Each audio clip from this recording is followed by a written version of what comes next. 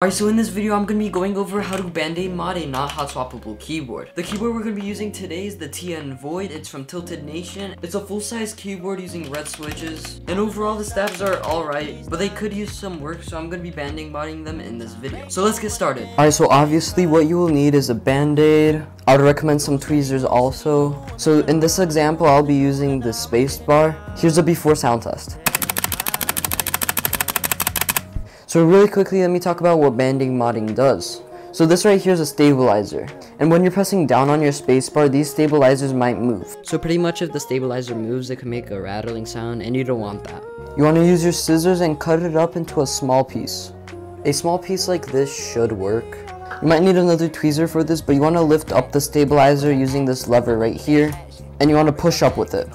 So the stabilizer comes out kind of like this. And don't push it up too high because the stabilizer might unclip from the actual wire. And then you'd have to take the keyboard apart, desolder the switch, and it would be a mess. One time it happened to me and I had to desolder the switch and then solder it back and then like, it was a mess. So now you want to take your band-aid, lightly lift up the stabilizer and kind of slot it in.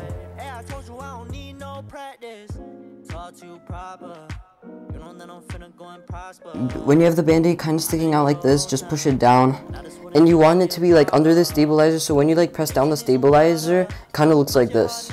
Making the stabilizer have less room to wiggle around.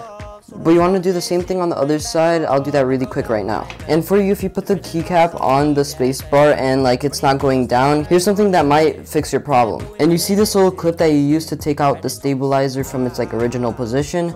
Push that back up so it's not touching the actual stabilizer part where you put the keycap on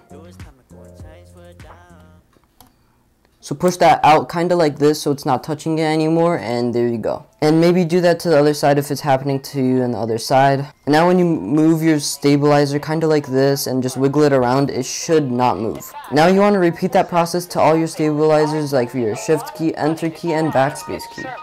Let me know if you guys enjoyed this how-to video. If you guys liked it, hit that like button, subscribe, and I'll see you guys in the next video.